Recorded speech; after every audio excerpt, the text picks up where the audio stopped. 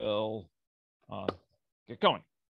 Okay, so um, uh, I actually have two sets of slides for uh, today, and I, I will work to uh, to post those. I was hoping to do so, but uh, but prior to this lecture, um, and forgive me for not having uh, for having run out of time for that.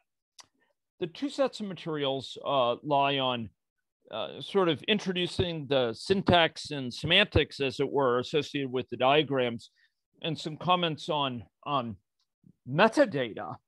Um, with so much of the course being about data science, um, uh, you may be surprised uh, to hear that um, uh, I think there's an essential need to discuss a little bit of metadata uh, about such models because that metadata shapes the uh, structure of the um, the state space of these models and uh, thereby the effectiveness of data science techniques.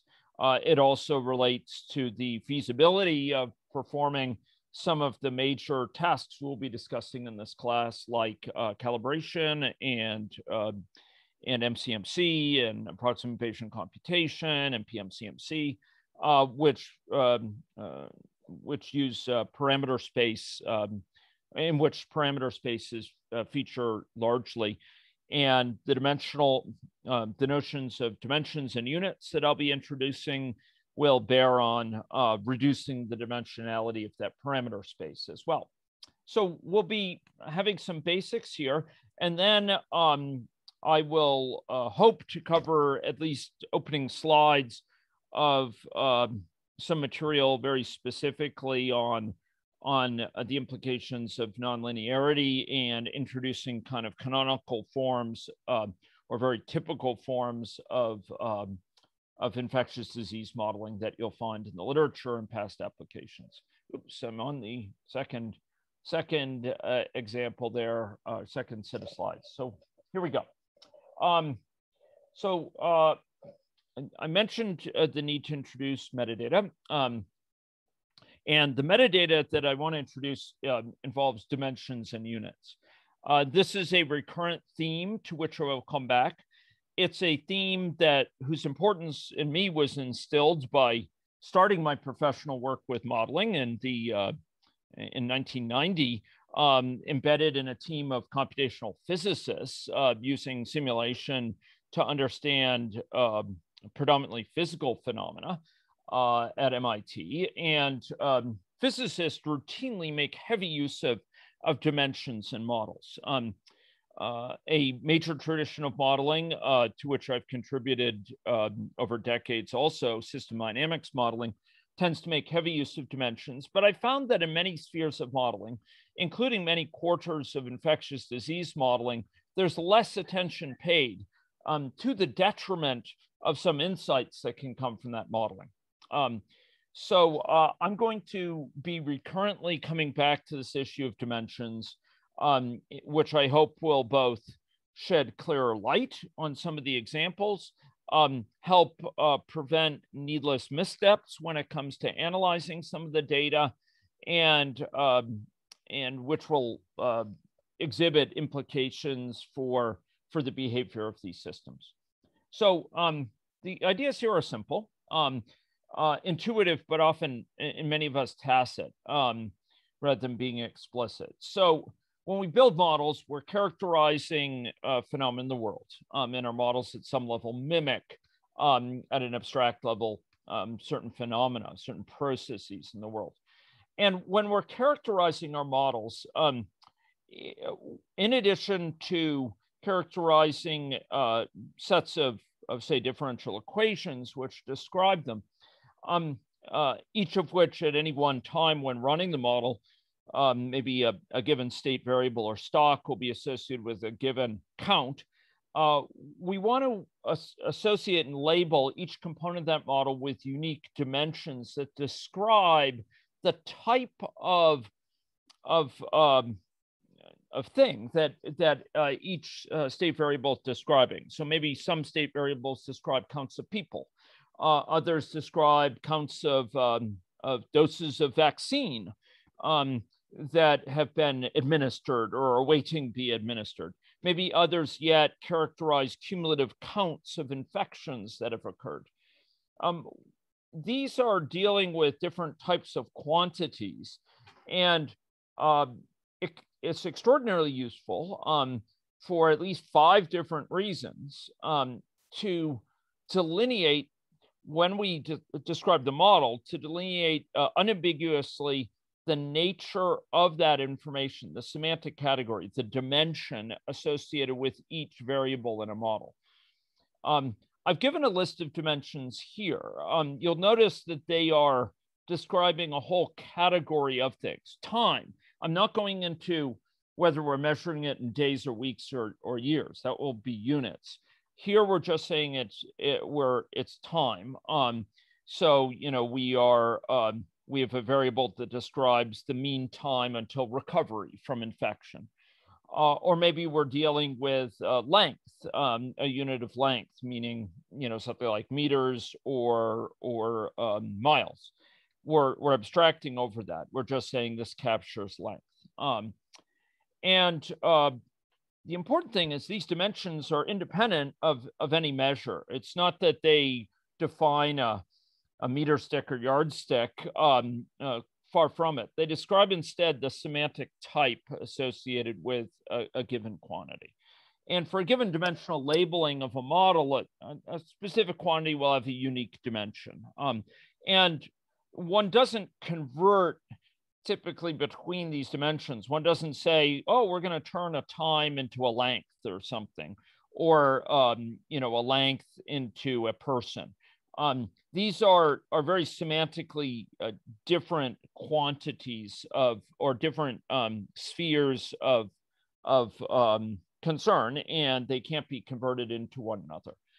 Accompanying dimensions, though, accompanying each dimension are uh, one or more types of units. So, for example, time we might have we might seek to measure time, um, things of dimension time in seconds, weeks, or centuries, um, or length in meters, or fathoms, or furlongs, or angstroms. Um, so units, um, there can be one or more set of units for a given dimension. And uh, units have to do with the, the yardstick or meter stick we use to, to characterize how much of a dimension we have. Um, uh, so it describes kind of uh, the reference used um, in performing a particular measurement or or um, characterization of quantity. Uh, it does always relate to a particular dimension. You know, seconds is something about time. It's not a quantity for length, for example. Um, and uh, you know, there's dimensional constants when we transition between units. So if we're going from feet to inches, we divide by 12. Uh, if we're going from meters to centimeters, um, uh, excuse me, uh, we multiply by 12. So two feet would be 24 inches. And meters to centimeters, we multiply by 100. Um, and uh, centimeters to meters multiply by 0.01. Um, so uh, a given quantity in a model has a unique dimension, but but could be described with many units. You know, we might we might characterize that you know uh, probability density of recovering from infection that hazard rate of recovering from infection um, either as a probability per day or a probability per week or a probability per hour um, or probably per year. Uh, we we choose what yardstick we want to use to measure it. Um, and uh, it is notable that even dimensionless quantities uh, can have units. So something like uh, uh, an angle, for example, maybe dimensionless, but we can measure it in radians or degrees. Uh, so um, I, I, don't want to be labeled belabor this point, but when we're dealing with models, a lot of quantities that we typically deal with um, can be uh, very fruitfully labeled uh, using both dimensions more foundationally and units um, to prevent numerical errors. And for those who may not appreciate the significance of this. Um, uh, I will just note there's five major gains that that come for this. Um, uh, some of which uh, have huge implications for model performance, such as creating scaled scaled down versions of agent-based models where you can simulate with 100,000 people something that you might otherwise would think would require an agent population of tens of millions and relate those two in principled ways.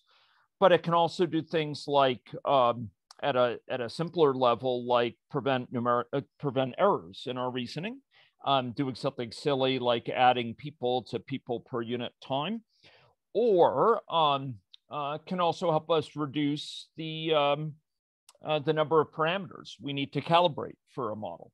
So units and dimensions will accompany us. And this next little discussion of model structure will employ some of that terminology to hopefully make sure we're on the same page with, with understanding uh, the structure of these models.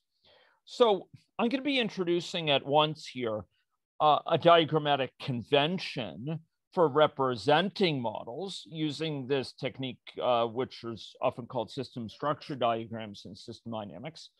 Um, but I'm also going to be discussing some of the uh, foundational quantities we'll be dealing with here and which will play a really big role in the communicable disease area when it comes to transmission modeling, talking about state variables or stocks and talking about flows between them. Um, so state variables um, called stocks within the system dynamics tradition or levels or compartments. Uh, we commonly refer to compartmental modeling, for example, for transmission modeling. Um, these represent accumulations they, and collectively they capture the state of the system, um, hence their name. Um, uh, eh, they can be measured at any one point in time. We could, you know, freeze the system at a given time and and go through and count the number of people who are susceptible, infectious, or recovered right now. Um, and uh, we would have a, a well defined quantity of people in each of those states. Um, state variables start with an initial value and are changed thereafter only by flows into and out of them. So a state variable has an initial value, an initial condition, as we might call it in, in numerical computing and uh, thereon, um, from then on, it will evolve according to um, transitions in or flows in, flows out, the net flow that drives it. Um, there, are an important source of, um, uh, of delay within systems, inertia within systems, uh, and uh, play a very big role within infectious disease modeling, and explaining why we get oscillations and for example, around an endemic equilibrium. Um, why uh, it takes, um, for example, the immune system time to build up defense after an initial infection by a bug, or the public health system to build up a defense after initial infection by a, a pathogen in an outbreak. Um, so in stock and flow diagrams, I'm going to illustrate these using uh, rectangles. Um, in each state variable, each of these these uh, state variables or stocks is associated with a, a given dimension. Whoa, sorry. Here, persons, persons, and persons, but here, um, uh, a cumulative number uh, of people. This is, um, you know, an accumulation over over time, which is uh, occurring. Um, and you know, these uh, quantities are are all around us. Um, at you know a, a, most intuitive level we think about water in a bathtub as an example of a stock uh, or the count at any one time of susceptible immune people or count of healthcare workers uh, count of cumulative infections or deaths or tests administered or vaccines administered or or dollars spent or what have you. Um, and stockpiled doses of vaccines might be another quantity. Um, now uh, any any given state variable here, any given stock will have a, a clear dimension. Um, and uh, to give it a numeric value, we'd associate with a unit as well. Uh, for people, you know, we we normally measure uh, particular persons, and one in principle, one could could mean use one to mean a hundred thousand people, but uh, generally speaking, in our models, we use one to be one person. Whereas in dollars, we might have a different convention um, uh, than that.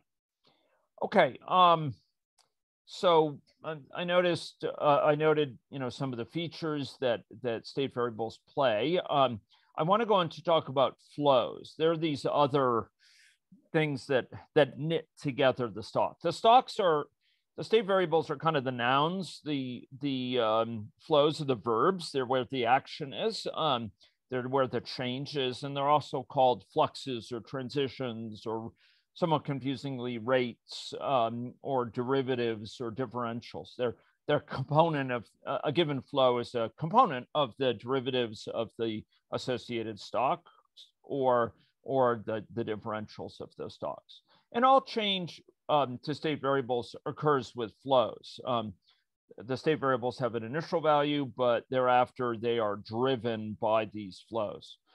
Um, so uh, infectious is drained by this flow of, of people recovering, and it's built up by this flow of new infections.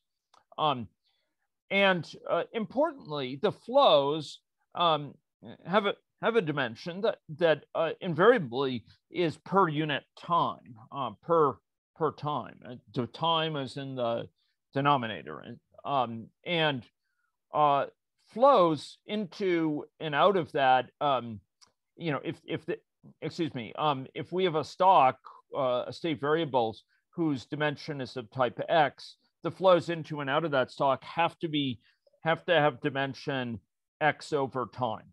Um, uh, and unit, uh, you know, say uh, X over some unit of, of time. Uh, maybe it's year or month or day. So uh, from a, a given stock, we can immediately uh, derive what the units of the flows are, and indeed the units of any connected set of stocks, um, uh, you know, along a chain have all have to have the same dimensions, the same units, as do the flows along that chain. Uh, now, in contrast to stocks, which if you freeze time can be measured, you know, at any one time, um, flows are measured over a certain period of time. So we talk about infections per week or infections per month or infections per day. We talk about reported cases per day. We talk about deaths per day or deaths per, per year or what have you. Um, and we typically measure them over a, a, a period of time. Um, so, you know, we, if we want to know what's the early incidence of, of uh, measles uh, within our province, we count up how many measles cases there were on a per year basis, right? Um, and uh, and yet, at any one time, um, you know, we we say the flow has a certain rate at which it's going, ten people per day, say. Um, but at a, as a practical measure to measure it, as a practical matter to measure it, we we we typically you know count these things up over time. So um, you know, we, if we think back to our notion of flows in a, in a uh, bathtub, you know, we have flows in and flows out, which might be liters per minute. Um, uh, in in terms of infectious disease modeling, we'll have uh, incident cases, right, and people per month. Um, uh, people recovering per month, um, vaccines administered per day, um, mortality people per, per year, for example, or, or treatment people per day, or what have you. Um, so flows um, are also all around us, um, and you can often spot them by, you know, their an amount per per time, or some unit time if you're talking about units. Um, now, beyond these, in these diagrams, I'm going to use a convention which also tends to highlight what are called auxiliary variables. Um, from a mathematical perspective, these are um, inessential. Uh, they simply are conveniences that allow us to capture humanly meaningful names um, and concepts uh, associated with some of the mathematical equations. Uh, please don't view them as, as um, you know, at the same level as stocks and flows, uh, but they are very useful for communicating, um, you know, uh, some of the uh, logical structure of the system as we understand it. So, for example, to calculate a force of infection here, we might say, well, it depends on the prevalence of infection. We could, of course, just write out how the new infections depend on susceptible and infectious in terms of the parameters you know, C times I over N times beta times uh, S. Uh, but it's often helpful to explicate the, the, the thinking behind the model, the, the logical structure behind it, the meaning of it, to break these out as as uh, separate variables. Um, and you know, I'll do so here. But this is a model with three um, for for this component here, three uh, state equations, three, you know, a coupled set of three ODEs, and then you have this fourth one down here with cumulative uh, cumulative illnesses. Um, these these ones highlighted in red are kind of mathematically inessential, but humanly quite essential from my perspective. So they elevate model transparency and they enhance modifiability, and often will use, you know, the total population at several places or or what have you. So for me as a software engineer, um, they are uh, essential tools for communication with stakeholders, et cetera we often show diagrams like this to our stakeholders, and they very much benefit by understanding some of these quantities.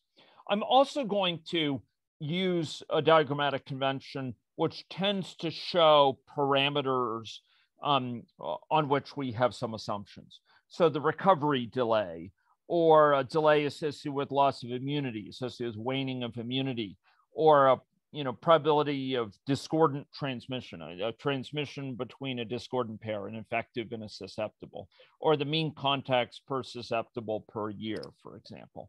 I will tend to break those out. Um, they are, again, um, nice names to refer to these quantities that otherwise could just be subsumed as a number in the equations. By breaking them out, it makes it a little bit clearer. And we'll, of course, often give these very brief names, typically in Greek letters, to, um, to express the form of the model more, more precisely. Um, uh, since this course is dealing with the, um, uh, the interface of data science and system science, I'll just note that a lot of our data science techniques focus on these quantities. And I include here initial states of the model, the initial the initial conditions of the model. So it's like the initial population size or the initial number of people who are susceptible, infectious, and recovered, respectively. Um, so um, you know these parameters uh, are going to form a big component of, of the methods we'll talk about. We will optimize their values so that this model best accounts for patterns we observe in the population using the calibration process. We will, um, in MCMC, we'll be sampling from a joint distribution over these parameters as we do in approximate Bayesian computation, et cetera. Um, in, in many cases, we can draw parameter values, uh, such as the incubation period, the time from infection to symptoms, or the latent period, the time from infection to infectiousness um, of a person who has been infected or the, the recovery period or infectious period, we might be able to draw those when we're lucky from reliable sources, be they meta-analyses or, or survey data or um, you know, uh, reports in the literature uh, uh, or, or other uh, findings from statistical analysis. In other cases, we will need to estimate them via other methods like uh, calibration um, or the data science methods. Okay, um, so that's a little bit about um, uh, you know the structure of the model. So I, I want to comment on on behavior and and you know we've been talking mostly about syntax here, how we stick these things together, and I want to talk about the semantics, the meaning of these models. Um, uh, these models do have meanings, um, and uh, there's a meaning in terms of dimensions, but there's a meaning level in terms of behavior over time that's going to um, be a central point of discussion. Um, and, you know, here it's important to recognize, I think this is intuitive to everyone, but I just want to make sure everyone's on board, given the diversity of the class, that, um, you know, the value of the flows dictates the evolution of the stocks over the next little bit. Um, so if we have uh, 10 people coming into our emergency room on a uh, excuse me, into our wards, hospital wards on a per day basis. Um, you know, they will be growing the number of people in the wards over the next few days by a significant amount. Those, those numbers will be rising. Um, by contrast, the, the values of the state variables influence on an instantaneous basis the uh, the values of the flows, kind of the flows now. And these two co-evolve, right? The the the flow is influenced by the stock, and the stock's value changes based on the flow, the state variables. Um, eh, you know, I I think it's actually worth emphasizing uh, here um, a basic principle that people um, uh, you know probably intuitively feel in this group um, but whose significance is often overlooked and, and can form the basis of some really great intuitions and understanding the dynamics specifically of communicable diseases, um, which is has to do with the fact that if you have a stock and it flows in and flows out, the net flow, the sum of the flows in minus the sum of the flows out, um, uh, you know, is the key determiner of, of the, the behavior of the stock. And if that net flow is positive, if there's more coming in than there is going out, think about water shooting into your bathtub faster than it's draining.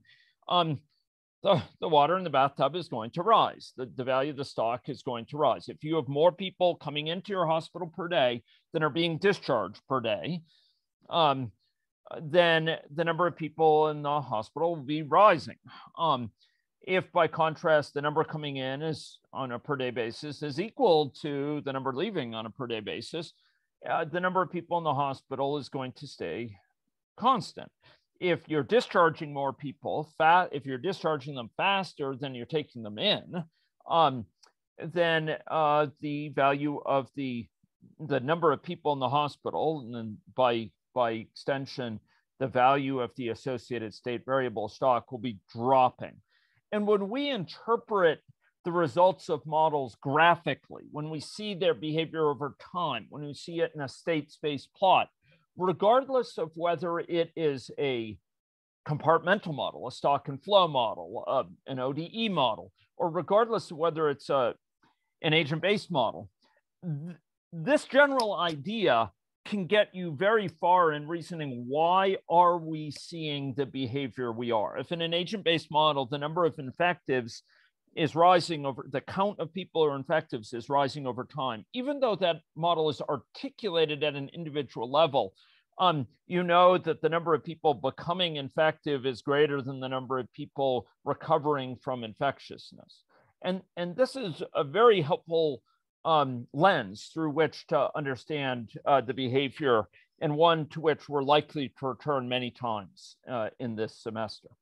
Um, okay, now when we have a when we have a model here, um, we uh, unpack the kind of syntax of these diagrams into the semantics associated with assigning to them uh, ODEs, ordinary differential equations. So each diagram is associated with a set of first order ordinary differential equations.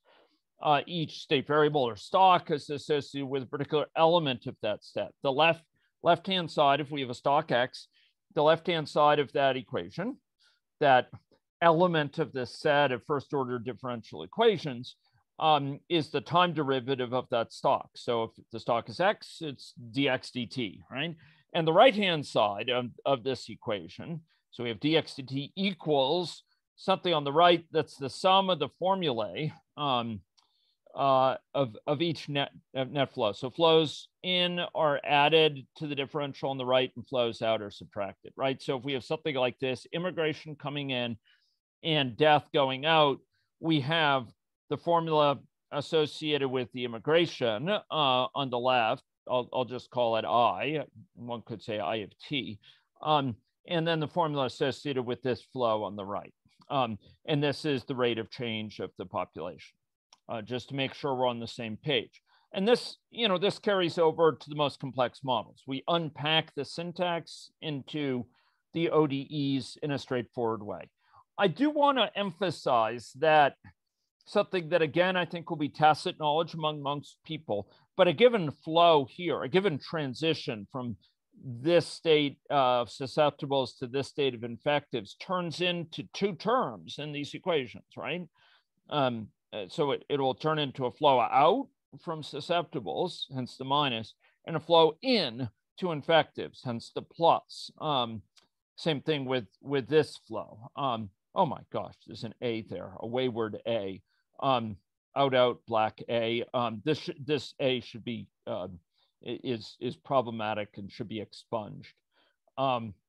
Okay, and you know here's another illustration using another diagrammatic mechanism from Jeff Garnett, um, where we have um, once again an illustration of kind of flows in and flows uh, flows out here um, to to a set of uh, stocks or state variables.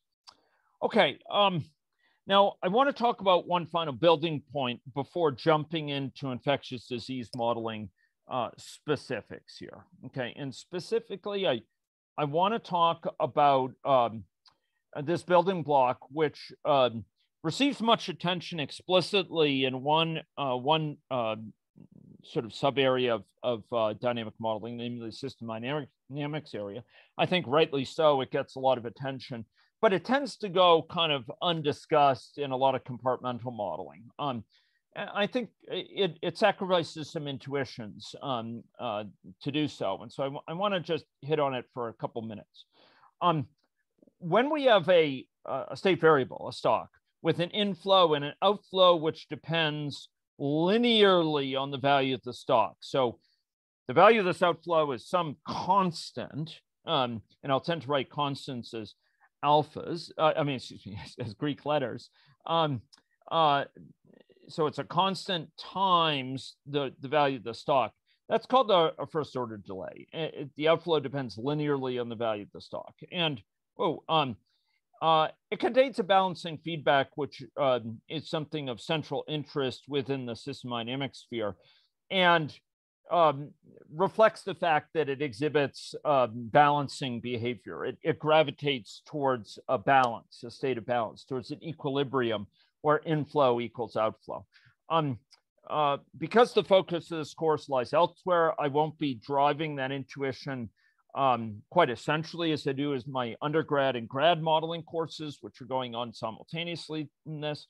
But it is worth noting that when we have this basic building block, which are everywhere, they're ubiquitous in infectious disease as well as um, modeling communicable diseases, zoonoses, um, uh, environmental um, epi, et cetera.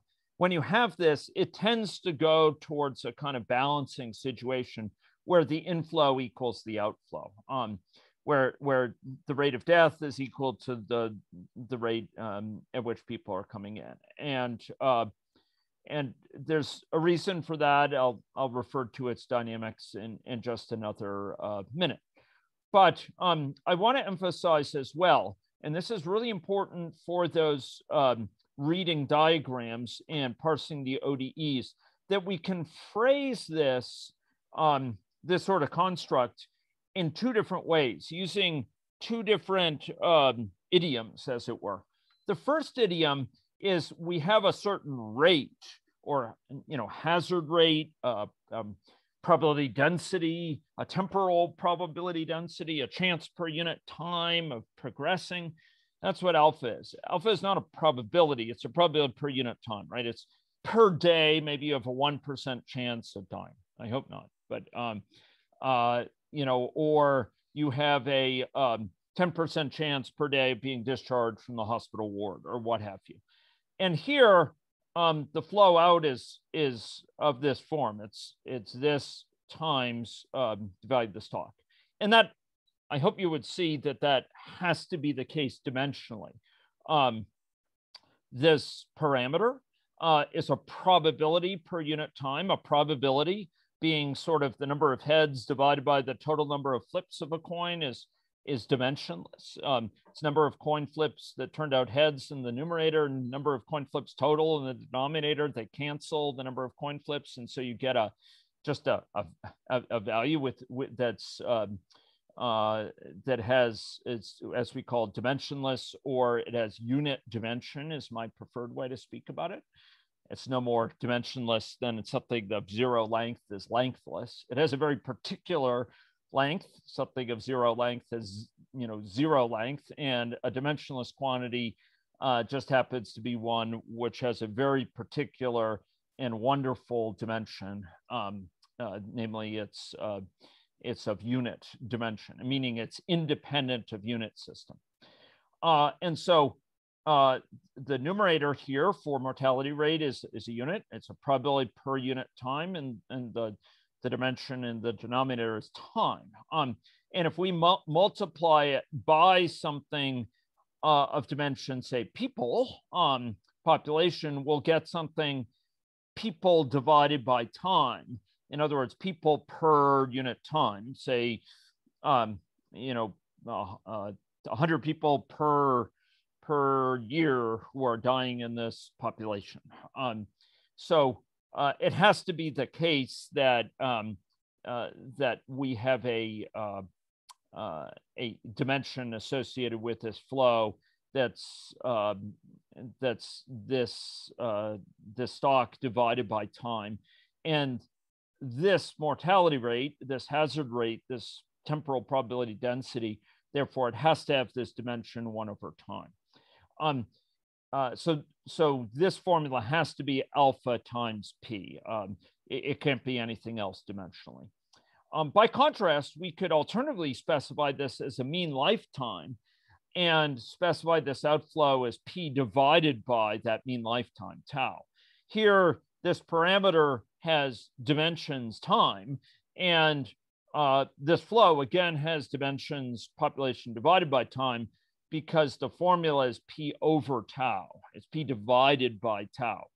It has to be for this flow to be this have the same dimension as population divided by time. Um, so we can figure out how to express these these um, uh, these first order delays in either of these idioms as divided by a mean time or as multiplied by a some rate. Um, uh, in either case, we will end up with the appropriate units. And you can always use the units, the associated units to figure out, you know, what this formula is.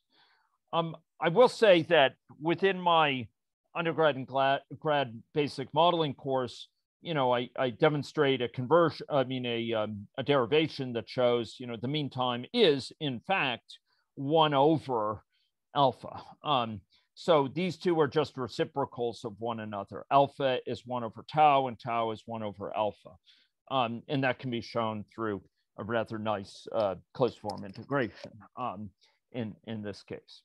Um, so uh, why am I emphasizing these delays? Well, a uh, couple, couple reasons. The first is they're ubiquitous uh, building blocks. Second thing is if you understand the if you have a good intuition for them, you you can build a good intuition for broader models very easily. Often, thirdly, I want to head off uh, dimensional problems with the outflows uh, for them. Fourthly, um, they exhibit interesting behaviors. Um, uh, I had noted that this is associated with a feedback loop, in particular, a balancing or negative feedback loop. So, you know, the more people that are in this stock, the more people die per year, uh, and therefore it tends to draw down the stock. Um, and and so there's a, a feedback there. Uh, and it turns out there's a feedback when you have an inflow into it um, in terms of the balance between the two. If the inflow is greater than the outflow, it'll tend to raise the stock, which will tend to make the outflow greater until it and, it will, and the stock will continue to rise until the outflow equals the inflow. It will gravitate towards a situation where these two are imbalanced because if there's an imbalance, um, it will correct itself. If immigration is greater than death, population will rise until the two are equal.